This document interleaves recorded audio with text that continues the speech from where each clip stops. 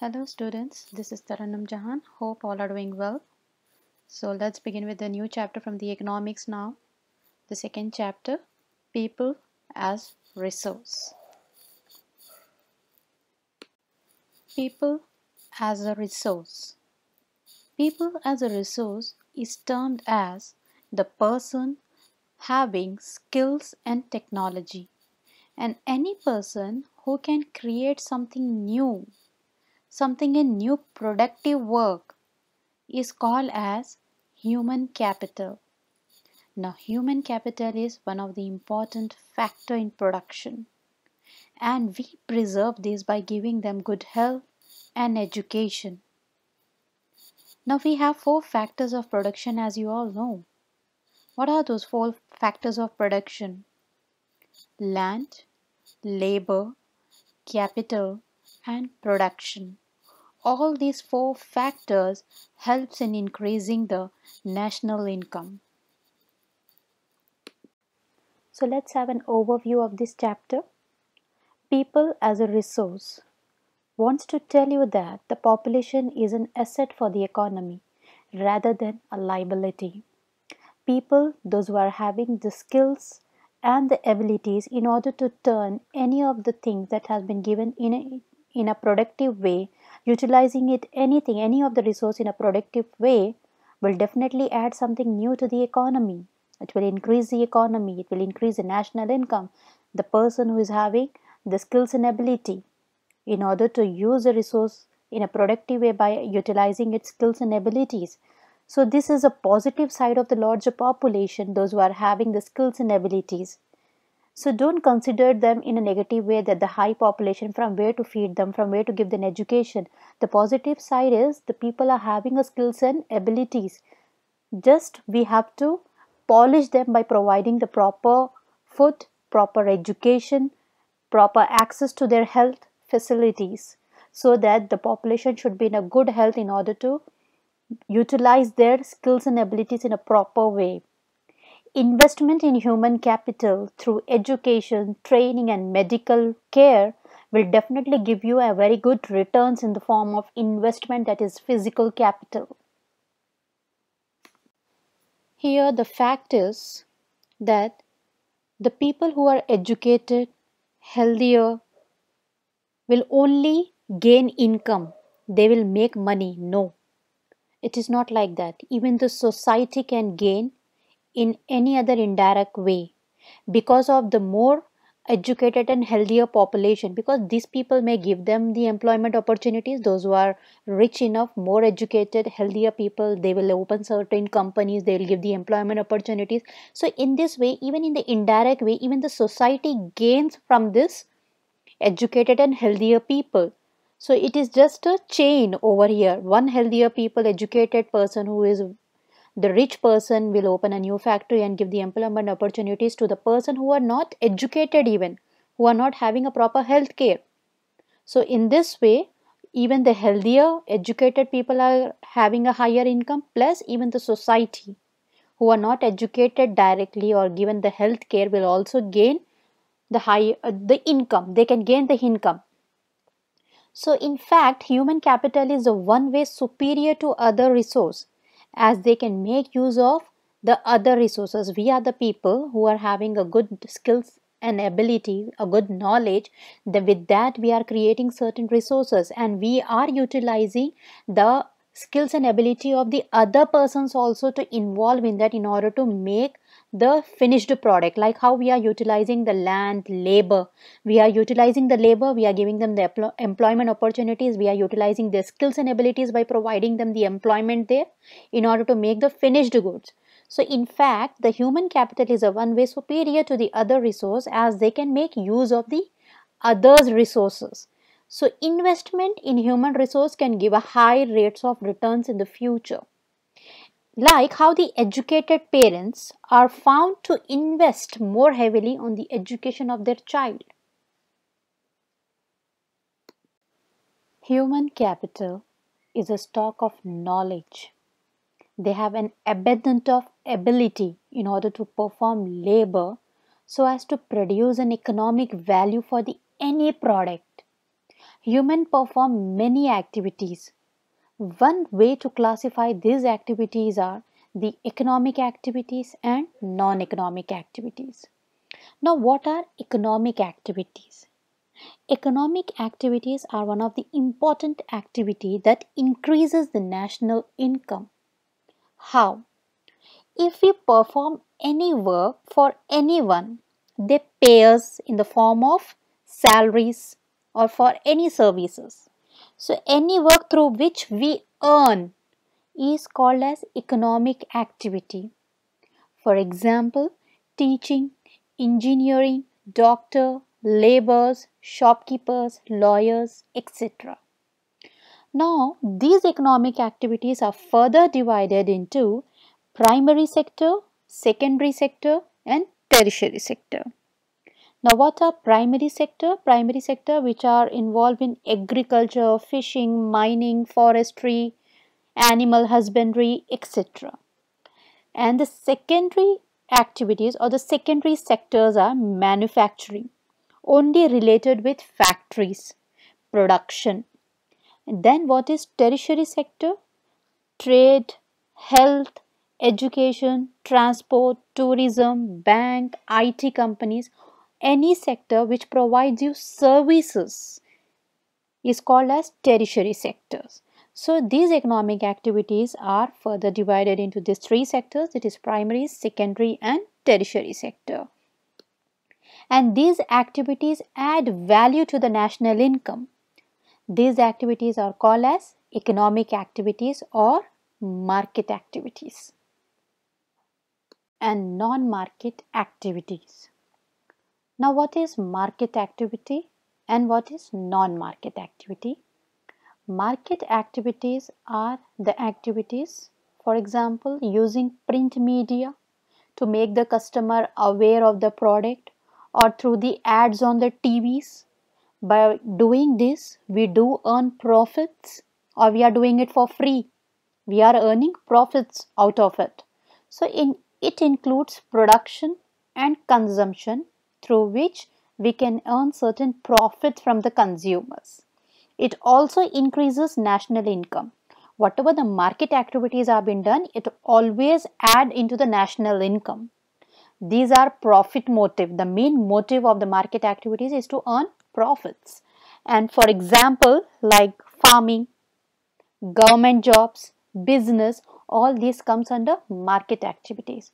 Then what are non-market activities? I'll give you an example. Household work done by the wife or tuitions given by the teachers to his own child. If I am giving a tuition to my own child, whether I am earning anything out of it, whether it is a profit motive one, no. It only includes exchange system. It is a non-profit motive one. It does not increase any national income. But all the non-market activities are there, it is not going to add anything to your national income. It is a non-profit motive because we don't get pay for it. For example, a housewife doing a work in the house, she is never paid for it. In return, she'll get an exchange of love. Finish. So those are the non-market activities where you don't get anything for a pay, just an exchange purpose, no profit motive economic activities by men and women.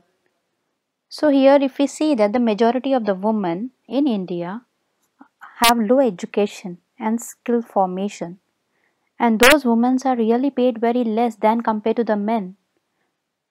Most women works where the job security is not at all there. They can be removed anytime various activities relating to the legal protection is also not given. Legal protection in the sense the maternity leave should be given to them, child care and the social security system should be given to them. So such things are completely absent for the low educated women, those who are low, those who are having a low education and less skills and they are paid less than compared to the women.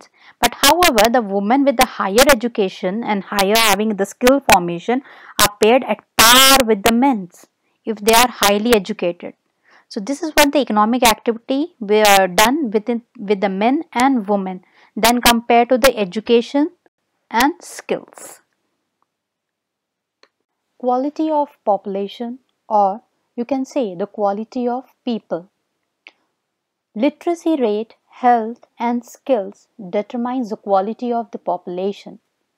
Illiterate and unhealthy population can be a liability for the economy.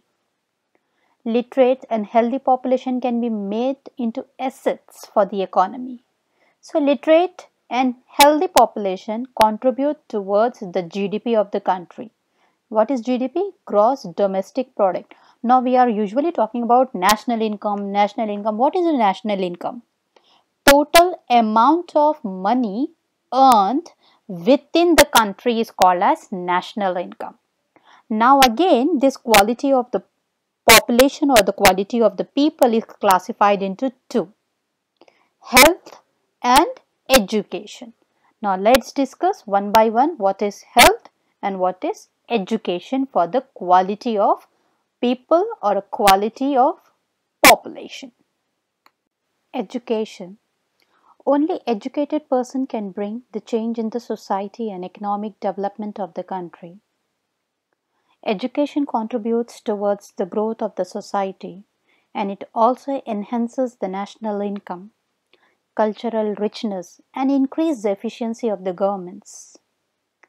Government has taken the major steps in order to educate the people and to bring the development in the country. They have opened many Sarva Shiksha Abhiyan was started by the government, like giving education to all the people till the age of 14 years for free. Midday meal scheme for the better attendance and health. In the 11th five-year plan, government focused on the higher education. Many colleges and universities were opened many new courses were introduced. In each district, Navodaya Vidyalaya was also opened. More girls' schools were opened. Government increased the expenditure on the education from 0.64% to 3.3%. Literacy rate in India. Though the government has taken many steps in giving education to all, but still we don't see much of the difference. But the changes in the literacy rate shows the work of the government. In 1951, the literacy rate was around 18%, whereas by 2011 it was around 74%. But the literacy rate of males are more than compared to the girls, that is 16.6%. Similarly, urban areas have more literacy rates than compared to the rural that is around 16.1%. If we speak the state wise, Kerala is having the much literacy rate that is around 93.9% whereas in Bihar we have the literacy rate of around 63%. After education, health. Health plays a very important role in the society if the person is healthy, he will be active whole day and even in the place of work, he will show the activeness. But if the person is sick, the person will either be on leave or he will not be active at work. So this is going to affect the economy if the sick person is going to do the work inactively. So in order to convert the person from liability to asset, the government has taken many steps. Now, what is liability and what is asset? We are speaking about the liability and asset. Liability is nothing but to be a burden, answerable for something. You are responsible enough to be answered for something. Assets is nothing but a useful or a valuable thing or a person. It can be in the way of talent, strong, benefits, skills, knowledge, etc. So, in order to control the health facility, government has taken many steps so that the population can be healthy and active in the society in order to increase the GDP and the national income of the country. So what are the efforts that has been taken by the government is in order to maintain the health of the people, more hospitals, clinics, both in the rural and the urban areas were made by the government. Free health checkups and campaigns were performed. Many government colleges were opened by the government. So these were the steps taken in order to improve the health facility in the both rural and urban areas by the government. Now if you see the health infrastructure over the year that is 1951 to 2010, you will see that how the government has taken the effort in order to improve the education and the health facility of the people but still we are lacking behind lacking behind in the health and even in the education unemployment unemployment is said to exist when people are willing to work but they are not finding the job the workforce population includes people from 15 years to 59 years those who are capable of employment in case of India, we have unemployment in both rural and urban areas. However, the nature of the unemployment differs in rural areas. In case of rural area, there is a seasonal, disguised and unemployment. Urban areas have mostly educated unemployment. So let's discuss one by one all the three kinds of employment. Unemployment, disguised, unemployment, seasonal unemployment and educated unemployment. Unemployment. First, we should know about the unemployment. What type of an unemployment we are talking about here? Unemployment in the way in the case where the people are skilled, they are educated, but still they are not having any job. Why such major problem is there in India? though the people is willing to work but they are not finding the job this is the major problem which is faced by india. So what kind what such type of unemployment are there in india? There are three major unemployment in india. What are those? The seasonal unemployment disguised unemployment and educated unemployment. Seasonal unemployment it happens when the people are not able to find jobs during some month of the year. This type of unemployment usually happens in the rural areas where they have no work for the season of farming is not there for 2 to 3 months. So such type of an unemployment is there only in the rural areas. Now the disguised unemployment in this case people appear to be employed. They show that they are employed.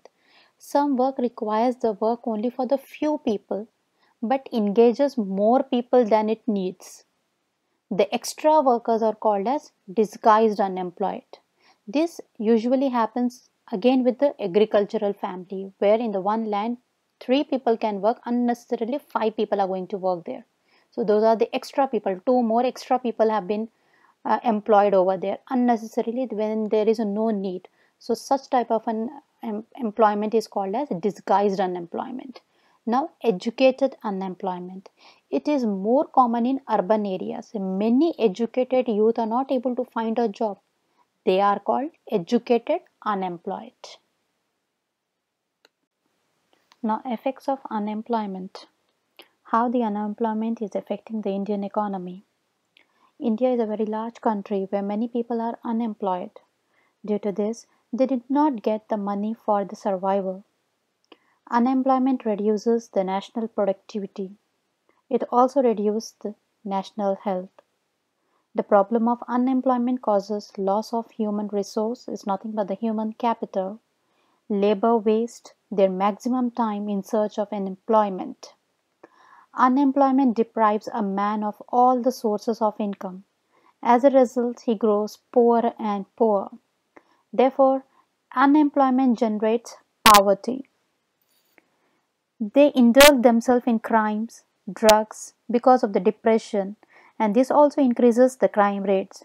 They are forced to do the work which they have never opted for. So here are some of the important questions that have been given to you. So please do try to answer with the help of the PPT in your registers. So with this we have finished the second chapter of economic people as a resource and I hope that you people have understood the chapter and if your people are having any query you can make a list and you can ask